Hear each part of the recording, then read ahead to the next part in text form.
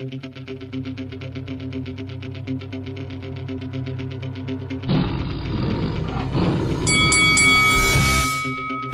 this is Faisal Khan for Lights Out.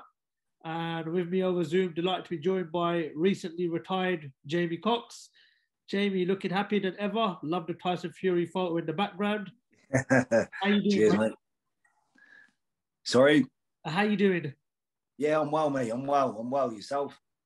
I'm very well, thank you for asking. Um, Jamie, the, well, I'd say over the last year or so, it was back and forth with you. One minute you'd retired, the next minute you was coming back into boxing.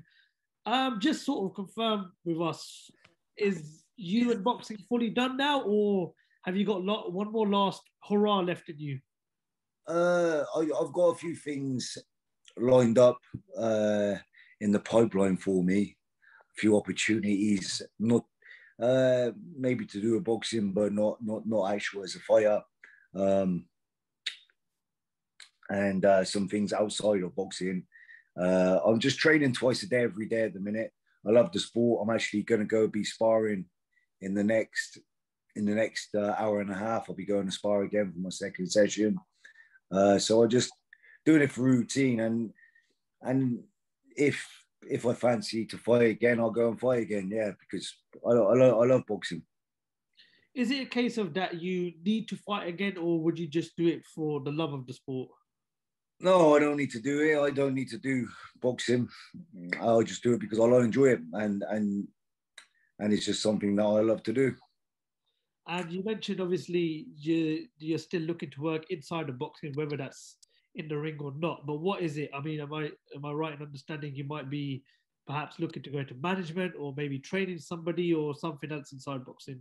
I don't really want to say too much on the. Uh, I, I don't want to say until it's all in, until it's uh, able to be said. But uh, yeah, be involved in the sport in somewhat, and um, yeah, you know, so uh, hopefully, hopefully, um, hopefully, I can be an addition to to the game in some sort of aspect.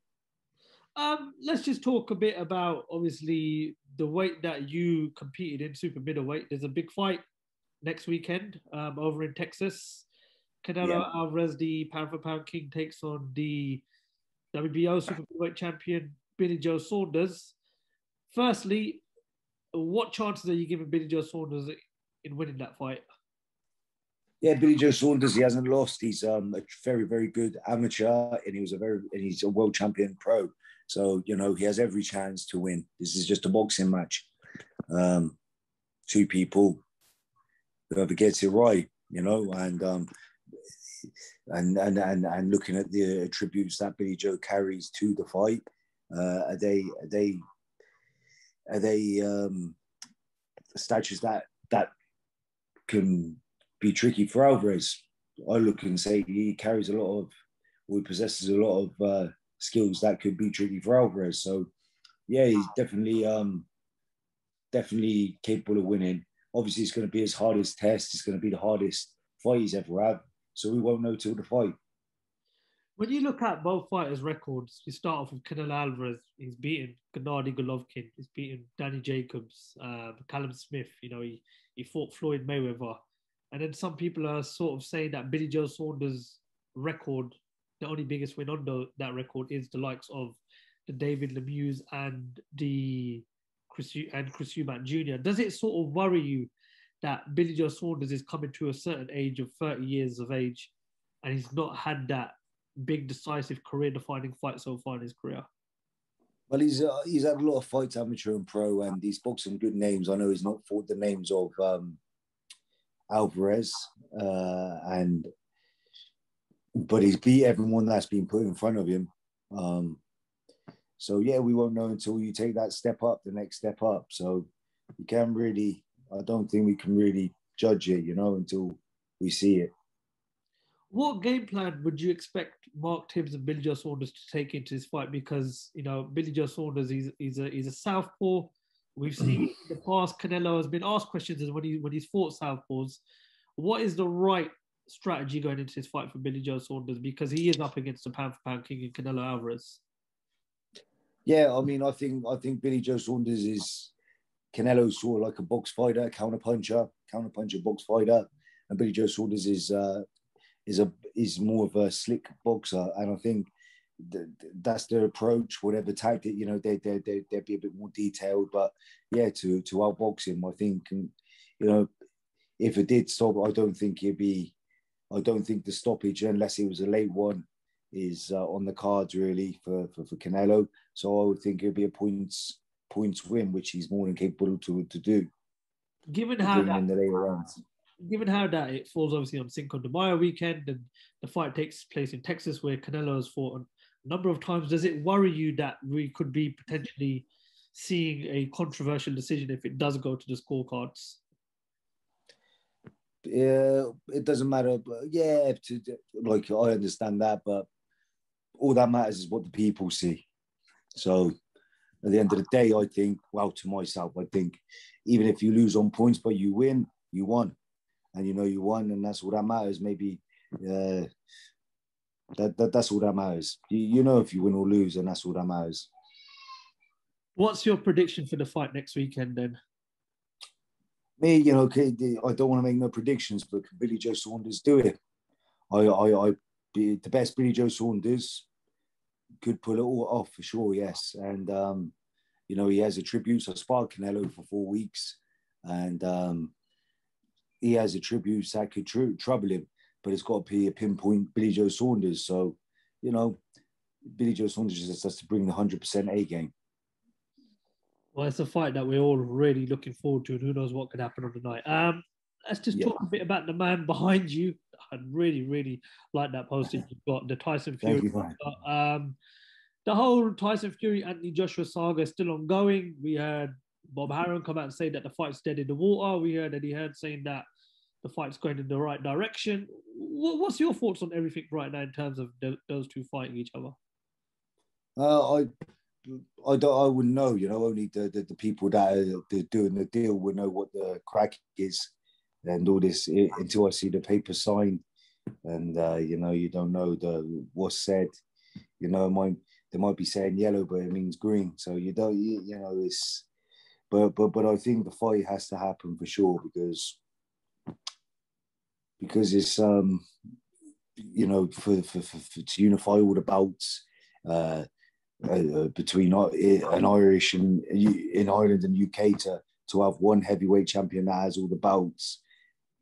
It'd be a travesty if it didn't happen. Who would you say is the A side going into this fight? Given the fact that they both are world champions, they're both two boxing. Who would you have the A side of going into this fight? On on credentials, I think Tyson Fury all day, for sure. You know, popularity most probably uh, is Anthony Joshua, but when it comes to credentials uh, in the boxing world, I think Tyson Fury all day. You know, when when when Tyson Fury was fat, out of shape. Well, first off, he went to Germany and beat the man, dethroned the man in Germany when he was 10 year reigning world champion. You know, he went in his backyard, won it uh, Joshua won because he got the belt stripped. So they were Tyson's belts at the end of the day. Then he didn't fight Wilder. For me, like what he's Tyson Fury was in a bad place, and uh, first fight he went to American fought him straight away. So, you know, I, I look at these sort of things. Why would, you're a multi-millionaire? What do you want? Two million, an extra million? I want the belts. When I'm a millionaire or multi a million pounds, I'd rather be the legacy than the an extra million on top of a hundred million. So um, you know, at the end of the day, that's the way I look at it. You know, so Tyson went over there and did the job twice.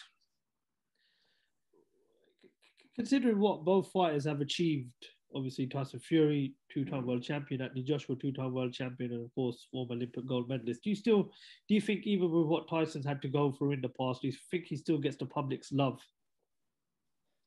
uh, I, I, I, I think when you look, uh, yeah, he's he's loved. Of course, he's loved. He's uh, he's a great advocate, but I think he's like chalk and cheese, and, and it depends on the certain people if they look a bit bit bit more deeper than the exterior of what you know they're about. But Tyson's a really good man. You know, I know I know I know Tyson, and um, he's a really good guy, really good charismatic.